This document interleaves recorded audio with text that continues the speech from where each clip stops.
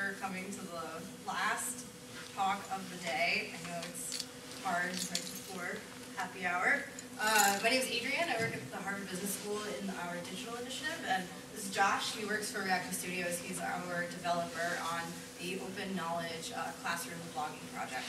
So I just wanted to do a quick show of hands. How many people would consider themselves tech savvy? Okay, okay. So we'll gloss over some of the like, uh, if we hit some jargon, I, I won't worry about it too much. And then how many people were at the three o'clock um, uh, talk with uh, Matt? Mike, thank you. No one. Oh, well that's great. Um, so Mike went over a lot of the stuff that we were going to cover, so we took a little bit of a pivot, so if it sounds a little off the cuff, uh, forgive us, and um, I hope that the pivot will actually be more informative for you in the end anyway. So, to begin, I think it might be helpful just to talk a little bit about what is open knowledge. Um, our goal is to make open knowledge the destination to create, share, discover, and engage in classroom discussions around business and leadership at, at HBS. That's a nice mission statement, but you know, what does it really mean? So it means that we're public. Uh, that means public facing versus open to the public, so everyone can see and participate in a limited capacity, though HBS uh, community members have more access than the outside world. Uh, and why does that matter? Uh, mostly because blogging is becoming more of an integral part of the professional skill set, and we want to be sure that our students are getting introduced to that early uh, so they're better equipped in the future. So we're also scalable, which means scaling the tech, making it easy to spin up a blog using multi-site, but also in terms of network effects. Uh, the addition of new content helps everything on the system and gives everything kind of an SEO bump. Uh, and so we're also user-driven, and that means talking to people, faculty, students, researchers, et cetera, to ensure that we're building product that meets their needs and that's super important because user-driven design is still fledgling, especially uh, in the academic community. And so prototyping the impact and success at HBS could change the way tools are built. And finally, we're community focused. So kind of as a case study of this user-driven design, at first, we hadn't considered um, building any community features into our blogging. We were like, okay, we need a blog, the faculty want to use it in the classroom. Case is done, right? But in the end, we through user testing, we learned that there was an opportunity for students to interact with each other and with alumni and, recru and recruiters in a digital space, that they weren't currently being served through existing HBS tools. So, what is open knowledge at a glance? Uh, we launched in six weeks at first. Uh, we had three courses at the MVP launch and six to date. Our large, largest course is nine discrete sections and 900 students, and about 25,000 page views per month between all six blogs, though two of the six carry most of those, and that's with any outside promotion, so this is about 80% organic search. So why did we choose blogs? Why are they public? Why not use Twitter or Facebook? Uh, why not just use an LMS that has kind of personal reflection tools? What's the big deal? And I think the next graphic will really help to illustrate that, which is that in post-course surveys, 97% of student respondents would recommend using public tool, public blogging tools in another class. And that was a really surprising finding for us and for our IT and for the faculty. So what are people saying? Open knowledge feels modern, relevant, and current. A professor told us that student blogging helped them to uncover new areas of research that they hadn't considered. Uh, some of the other things, an opportunity for students to experience public blogging in a supported environment, so seeing their classmates, having help from them. The publicness actually increases the quality of the work because they know somebody other than the instructor is going to see it. And finally, it unearths potential research areas for professors. So now that I hopefully have gotten you a little excited about how you do this in the classroom, let's talk about who needs to be involved to make it a success. Uh, so it takes a village to raise a child, as they say, but who do you bring with you? So the stakeholder, an individual, group, or organization who may affect, be affected by, or perceive itself to be affected by a decision, activity, or outcome of a project. That's really nice, really lots of great jargon in there, but it's pretty vague, and before you know it, you get something like this, which is a thousand people telling you a thousand different things, and they all want them right now. But you, as the project owner, need to determine kind of who is going to be the primary user for your project. Uh, and so we took more of a graduated path, bringing in less people to start with. So we started by asking ourselves, who's driving the bus, right? In, at HBS, the faculty have the final word with respect to course design. So we got lucky because I'm part of a research initiative that's faculty driven. So our faculty chairs were our first pilot testers and they were also our biggest advocates to other faculty members. But your mileage may vary. In general, determining the latest number, sorry, the least number of people that need to play an active role will ensure the highest probability of success. So who are your users? Probably the faculty using the blogs in class, their students, their the TAs, assistants, and anyone from the general public that might find their way onto the platform. That's still a lot of people, so from that list, who's the primary user? And in that case of the open knowledge, we determined it was to be the faculty.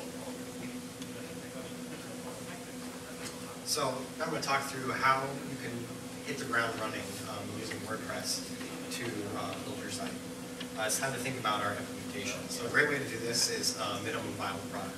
And so Mike's talk earlier talked through some of these, um, how you can do a minimum viable product. So I'll, I'll go through a little bit of that. Uh, WordPress makes it pretty easy to get started that way. So uh, is anyone familiar with this graphic or seen this before? Um, so basically this is showing um, how you build a minimum viable product if you were going to build a car. So the top row, um, if you are building a project piece by piece, you're going to start with a wheel, then maybe make another wheel, um, then maybe, maybe make four wheels, um, and get up to the body. Eventually you have a car, but during that whole process, you don't have something that people can use um, until you actually get to the end and you have that car. Um, whereas if you start with a minimum viable product, um, maybe a car isn't actually what your users want. Maybe what they need is a mode of transportation. So let's start with something smaller scale, something that's quick to build, something you can get them using right away. So we can start with a skateboard. Um, they're able to get around with it, um, and then maybe as as they're using the skateboard uh, and they need to grow, they can move up to a bike, maybe to a motorcycle, and then finally, if you decide that's actually what you need, you can build a car. Um, but this way, you can get users in there and get their feedback right away and work that into your product rather than assuming this is what they want, but spend all this time building this building this project. And so you have to think about what's the absolute minimum um, project that you can build that allows your users to be successful. You have to strip down that feature set. Um, and so then you have to think about how you define what uh, working, working product is. Uh, and William Faulkner said, in writing, you must kill your darlings. And he's saying here that there are these there are these things that you really enjoy putting in your writing, but your audience may not care about. So something that you're really tied to. Um, so today we're saying uh, in an MVP, kill. Um, and you need to ask yourself if the feature absolutely must be included in that initial launch, and if not, um, you need to drop it. And so you need to stay focused because um, you'll have these pet features coming up, uh, your darlings, that are the things that you really want, or even as you initially launch it to students, they'll have you like, oh, these so cool, we can do this. And then you'll have to make a trade-off to implement those features. And so once you've determined your initial feature scope, um, you risk missing your deadline and not launching if you decide to build these other things. Um, once you launch and you get user feedback, you may decide that these really cool features may not even be something that users actually want. So it's really good to keep that uh, feature set as lean as possible. Um, so think about what tools do users uh, need to be successful. So um, we're to talk through what our users needed and when they needed it. And the, when aspect of that is really key because we launched uh, we launched this whole platform in six weeks, and so uh, we're going to walk through what what our uh, user types needed on day one of the platform and and onward, and that helped us determine what do we absolutely need to have done at launch. So on day one, uh, students didn't really need anything. Um, at that point, it was about the faculty. So faculty needed a site that looked like a blog. Didn't even have to be blog. They just needed a site up, they needed a, a, nice design, and the faculty and their support staff needed uh, accounts. So on the first day of class, they're showing here, this is the site we're going to use for classroom blogging, but students actually aren't going to be interacting with it way. So that's the minimum that we needed uh, to show up on day one. So then our next milestone was day seven. This was the course add drop day. So at this point, we still didn't need anything for students, but this is the point where we actually had the final class list. um, any students that had added or, or dropped it. And so this is when we imported all the students uh, into that into that site. Um, so they all got an email notifying that their account was created, but uh, they could go in and reset their password, but they didn't have to at this point. And then uh, the next big milestone, day 15, was the assignment submission day. So this is when the first assignment uh, was due on the site. So the instructor posts a, um, a prompt, and then the students all respond to the prompt with a public blog post. Um, so for here, we didn't need much for faculty, but for students, uh, they needed to be able to log in, they needed to be able to reset their password, they needed to submit their assignment. Um, they did, part of their grade was also how they commented on other uh, students' posts. And we also needed to provide them customer support. So it's sort of a high-stress environment. Students are depending on the platform for their grades. This is how they're submitting their assignment. And the, the deadline is at midnight.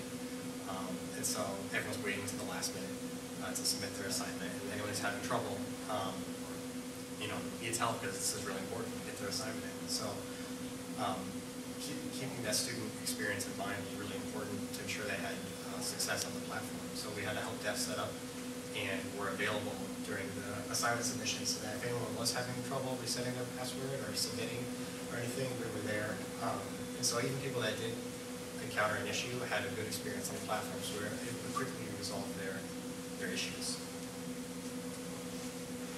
Um, and then day 16 was the classroom discussion. So this is when faculty made sense. So when, back on day one, we didn't launch with like any exportability for assignment data or anything. Once the students submitted all their assignments, it's now the faculty's turn to go in and start grading and curating. So um, they would curate featured posts as they went through and say, this is something that we want to talk in class. So they'd be able to select that post. They had a separate classroom view that would hide the grades and everything and show this is what they could put up on the screen in front of their class and choose those uh, uh, submissions as the day's discussion topics. Um, They also go through and grade them, and then they wanted to be able to pull down that, that grading data in CSV. So this is something that we didn't need these features on day one because there weren't going to be gradings. We were able to reprioritize these to implement these after the initial launch and making sure that they're there for um, the class discussion day. So being able to split up all these helped guide and reprioritize, you know, what we were developing as part of our minimum viable product.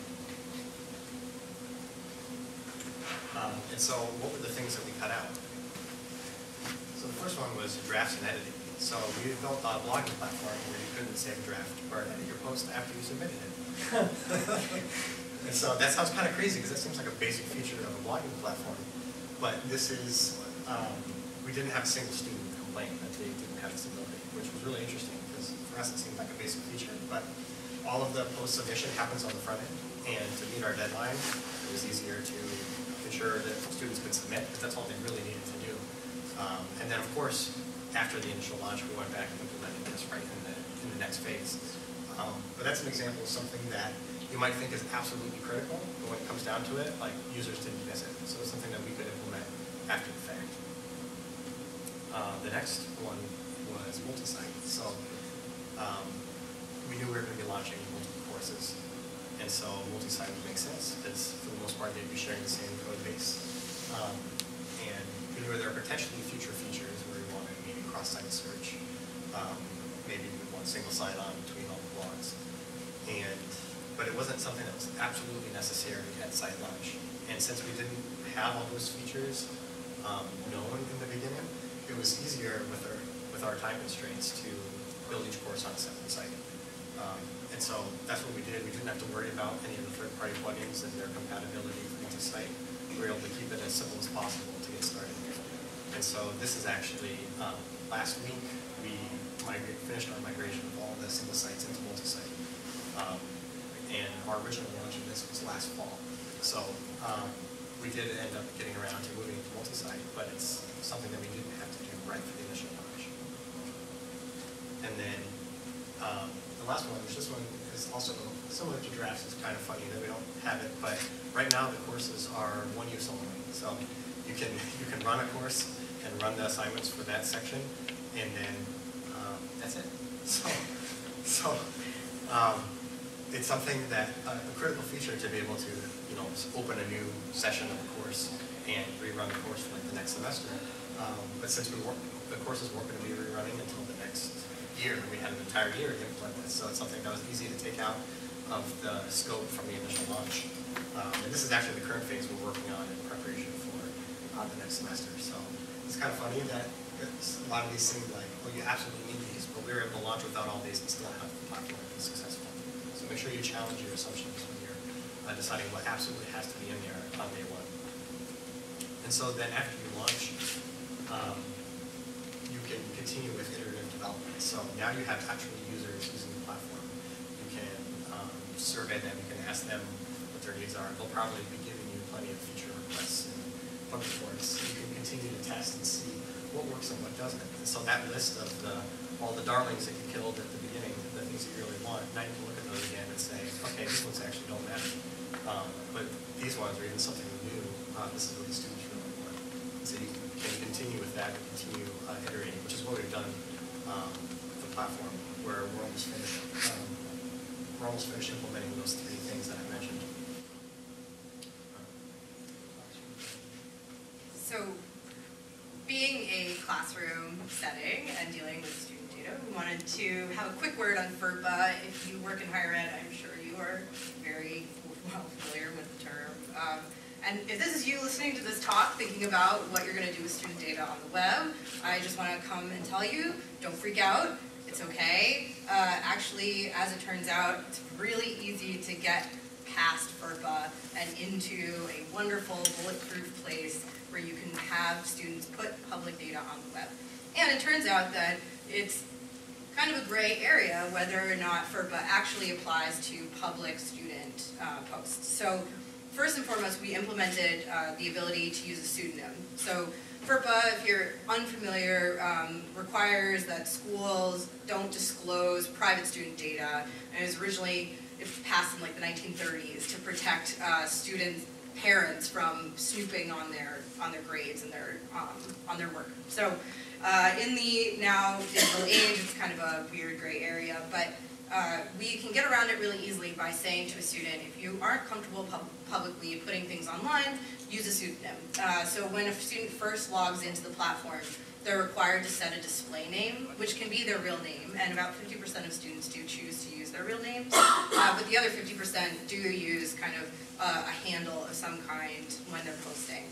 Uh, and then the other option is to just offer alternative submission paths. So uh, at HBS, we have a lot of students come that work either for uh, the Defense Department or for the Army um, military, and there are a lot of cases where they're totally banned from interacting on social networks. Uh, and so offering those students a way to publish by email or send in a written submission makes it a lot easier to make sure you're being inclusive of everybody in the class. Uh, oh, and finally, just don't ask for private data. So we had a great conversation with our um, InfoSec team at HBS, who was incredibly upset with us for not talking to them sooner. Uh, but they they were under the impression that we were taking tons of private student data. And in the end, after they did a security audit, realized that the only things we were asking for were the name and email address of our HBS students. Uh, everything else was totally voluntary on their part. And even then, it was things like your LinkedIn uh, URL. So the less data you take, the less data you have to worry about. And we don't integrate with HBS's single sign-on on purpose because there's just too much to think about when you have to integrate with these really robust single sign-on networks. And in the end, students don't really have a problem logging into a second, uh, a second platform, sorry. So finally, just want to say thank you, and I want to just make sure we take all your questions and help you get prepared if that's something that you want to do in your classroom.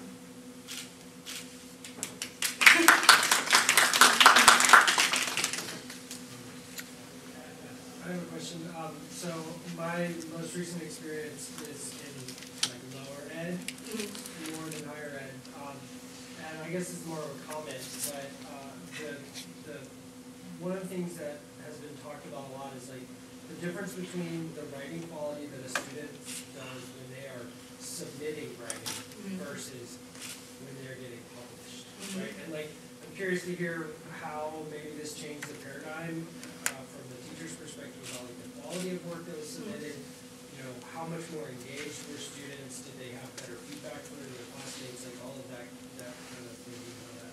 Yeah, absolutely. So, um, I, if you came in late, uh, this was my favorite thing that came out of sur- surveys. Like students love doing public work, um, and the professors really love the work. So one of our professors said that it helped him uncover new areas of research. So the students were posting about like new uh, digital transformation and companies that have kind of weathered or not weathered the digital transformation. He does a lot of work in that space.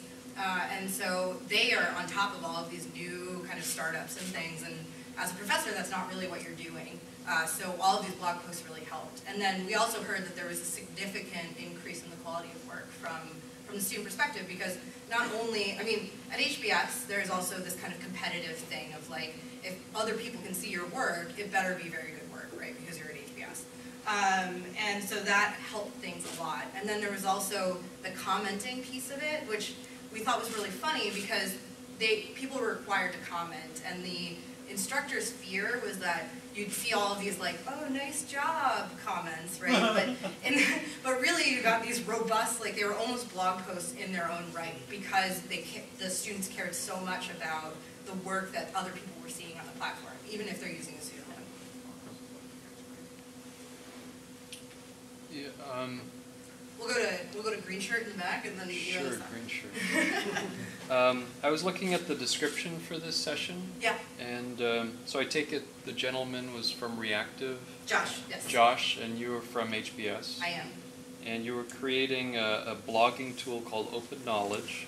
And is that based on WordPress? It is, it's a WordPress platform. It's built off of that. Can you talk a little bit more about how you moved from WordPress and what you had to do? I know there was, um, there's been discussion so far. I wasn't here at the three o'clock with Mike that you referenced. Oh, no, so- no, that's fine. Okay. Yeah, so, yeah, so the parts we changed were merely talking about like how you go about building an MVP. Uh, the whole site is WordPress, so it's a, now it's a WordPress multi-site instance. Before it was multiple single sites, but it's, uh, it's a custom theme and a custom assignments plugin basically that we have. And that allows front-end submission of, so none of the students or, um, or commenters see like the WP admin, they don't see the back end of the site. Sure. So their whole experience is on the front end. Um, so, so that's what we built, and then along with that, there's curation and, and grading tools. So professors have these sep- separate instructor tools.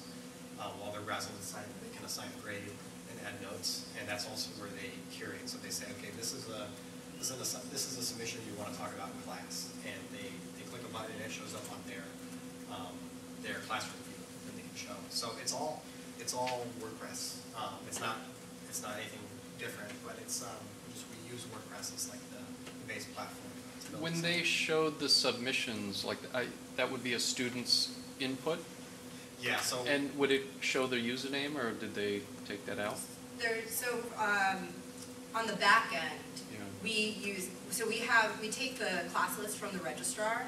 Uh, so the use, so the student's name and email address is taken from that list.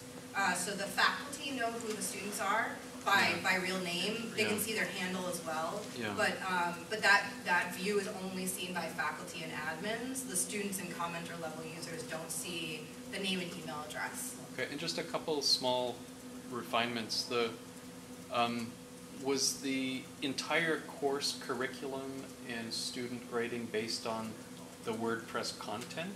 Or did they actually have to hand in other projects typed? So we've seen actually a range. We've run in six classes so far. Uh, in some of the classes, and some of the more arguably successful classes, the blogging has been integrated Hmm. uh, with other assignments, and, and HBS runs on the case method, so there's a lot of, so there's the case method stuff happening. Uh, and then there were other classes that just kind of had blogging as a component, uh, and those were a little less successful because they weren't kind of thought about in a holistic way. It was just, oh, if you're doing class in this format, then you have to write a blog. Um, and then finally, I saw one class that they tried to do the, um, the digital component on Facebook, uh, and it didn't end up working out because students didn't want to use their Facebook account for class. Yeah. Uh, and so they moved to Open Knowledge to do their final assignments. Okay. Yeah, so I, and I would say that if I were to give a suggestion based on what we've heard, figuring out how to integrate those posts. Um, like I really loved the couple classes that would, instead of a case, uh, go through and curate posts that they saw from the students, and then talk about them in class. And students really love that too, because they love having their stuff called out. Uh, I think over here on the side. Uh, I dug it out myself, I want to see some screenshots, Oh, okay, great. the actual courses, I, They're all public, so if you go to ok.hbs.org, um, you can, you can be redirected to the, the courses that have run so far. Could you do that again? I'm not sure that's where I'm looking. There's a couple ways to get to it, but ok.hbs.org, Okay or okay? OK, Okay. open knowledge. Um, in the back, So in one of the sessions uh, earlier this morning, we talked about getting students on, in on the back end. Mhm. It's just part of their um, formation and development. But I also recognize that depending on the size of the class, the level of students, you may not want them to have anything to do with the back end, right? Uh, And, and that's uh, one of the cases I'm in with my undergraduate, first, like 100 level undergraduates. But I do want to publish their work, and I do publish their work. And right now what I do is they use another, they use a LMS that has its own sort of blog piece, they'll do it in there. If I wanna publish it or offer to publish it, I have them, uh, actually, I have them work on a Word draft, actually. Um, I have, excuse me, I have them do a draft in the CMS, then if they wanna publish it, do a Word Mhm. file, and then I take the Word file and put it on my WordPress site. Is there a better piece than Word or something to make the sort of porting process easier. Maybe to give them the feel of what it would be like to be on the back end, especially using dynamic media like embedding a video or something like that. Uh, and that also just makes it easier for me to put it into WordPress.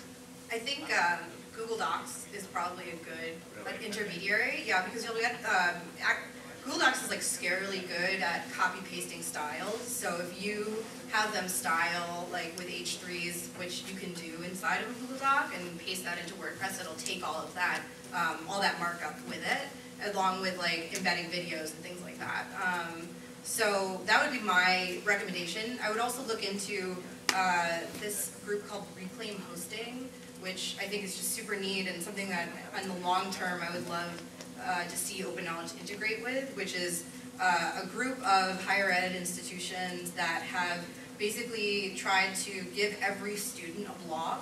Um, and so you start your course with your own blog, and then when you do an assignment, uh, you tag it with the assignment that you're doing, and you basically like through an RSS kind of reader pulls it up into the classroom blog. So what happens is that when you leave school, you still own your data, you still own the hosting, you still own the domain name, and so you can keep blogging, and you're already introduced to the whole process in that kind of supported academic environment. Um, but it also takes away a lot of those data, data governance questions that we're gonna run into at HBS soon too. And that's built off of WordPress. Yeah, they have WordPress uh, integration. Wow. So if I could like maybe respond to that.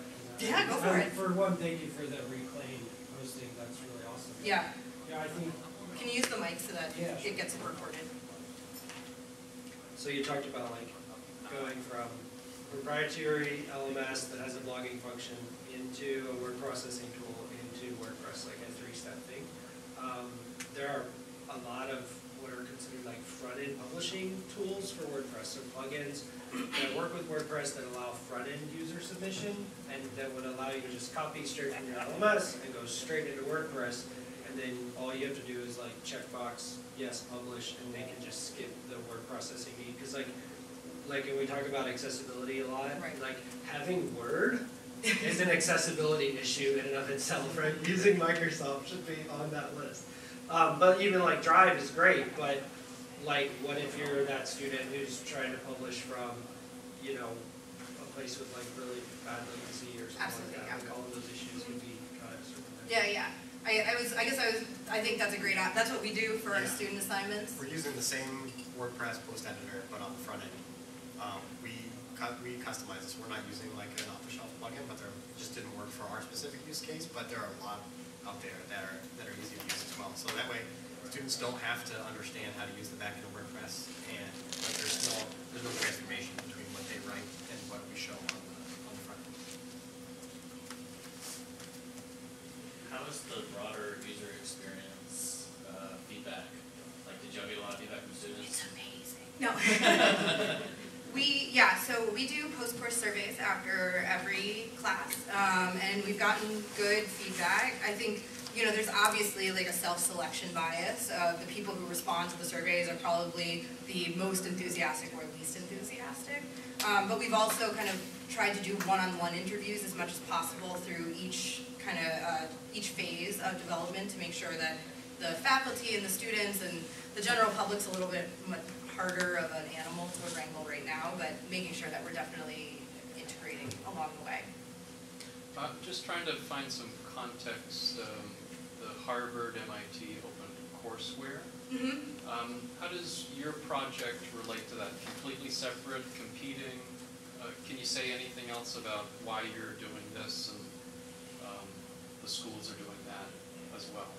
Yeah, absolutely. So my understanding of open courseware is that it's more of a MOOC style of anyone can come on and engage in a class. Um, this is a component of on-ground HBS classes. So HBS, even within the school, has their own MOOC, which is HBX. Um, and we will kind of, we're working on a strategy that integrates those as well. But this is more of like what is, what are the students in HBS learning, and what is the knowledge that they're sharing with the outside world, and then how is the outside world engaging with them? Yes. Uh, Two-part question. First is, I know HBS is just one of many schools in Harvard. It seems, I- I'm a bit surprised that it was 12 years or so before the first, what's the backstory on that and of other? As the um, first blog, you mean? Well, this very conscious decision to bring bar blogging right into the education experience. Berkman, for example, has been around Mhm. X years. Have other schools, grad school design, um, education, have they been more exploratory than HBS? I know that the graduate school design uh, is on WordPress now. I don't know if they do classroom blogging. Um, I think at HBS specifically, business schools in general tend to be a little bit more conservative. uh, And that's a big reason why it took longer for HBS to sign on. Um, But I, I, you know, I honestly, I couldn't say uh, with any kind of certainty why, why now versus another time. Um, I know that other initiatives were started at HBS, like certain different things that were similar to what we're doing with open knowledge. Uh, and I think, it sounds like from the interviews and conversations I've had with faculty and the admins, is it just couldn't get the right mix of um, administrative support and faculty buy-in uh, and just kind of resources, so. The second observation sort of builds on your question, which is that my experience with MIT breaking the boundary of the classroom is that it's much more messy. Mm-hmm. As I look at these, I wouldn't submit anything unless it could be published by the Harvard Business Review. Whereas the MIT channels, they use Slack, they use Facebook, they create their own MOOC backstories, there's Twitter feeds. And so you don't have to be publishable to contribute and move the thought stream forward. I think it's easy, like personally, I'm, I, I would subscribe to that methodology. Um, I think HBS as an institution, uh, is, is much more of a polish first, um, place.